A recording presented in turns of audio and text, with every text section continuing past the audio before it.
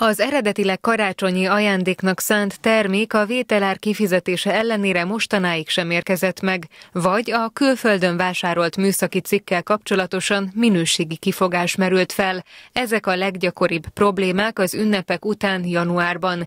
Tájékoztatta televíziónkat az Európai Fogyasztói Központ főosztályvezető igazgatója. Nemzeti Fogyasztóvédelmi Hatóság szervezetében működő Európai Fogyasztói Központhoz nagyon sok olyan határon átnyúló fogyasztói panasz érkezik, amely a külföldi üzletből vagy külföldi lezáruházból történő vásárlások esetén jelentenek be problémát. Ilyen például, hogyha nem érkezik meg például a karácsonyi időszakban a karácsony ajándékként vásárolt termék, vagy megérkezik ugyan, de hibásan érkezik meg, nem érkezik magyar nyelvű használati kezelési útmutató a termékhez, nincsen mondjuk az okostelefonon magyar nyelvű menü. A főosztályvezető igazgató hozzátette, a fogyasztóknak fontos tudniuk az úgynevezett elállás lehetőségéről. Az internetes vásárlásoknál, illetve emellett még az üzleten kívüli szerződéseknél illeti meg a a fogyasztókat az úgynevezett indokolás nélküli elállásjog. Ez azt jelenti, hogy meggondolhatja magát a vásárló a szerződéskötés után,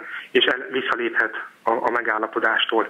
Ez 14 napon belül gyakorolható jelenleg, amely határidő egyébként a termék átvételétől számít, illetve ha valamilyen szolgáltatásra vonatkozó szerződést kötöttünk, akkor a szerződés kötéstől számít. Amennyiben nem tudjuk rendezni határon átnyúló fogyasztói panaszunkat, javasolt a Nemzeti Fogyasztóvédelmi Hatóság szervezetében működő Európai Fogyasztói Központ ingyenes, szakmai és jogi segítségét kérni. Akkor lehet a központhoz fordulni, amikor az érintett vállalkozásnak nem Magyarországon, hanem valamely uniós tagállamban, valamint Izlandon vagy Norvégiában van a székhelye.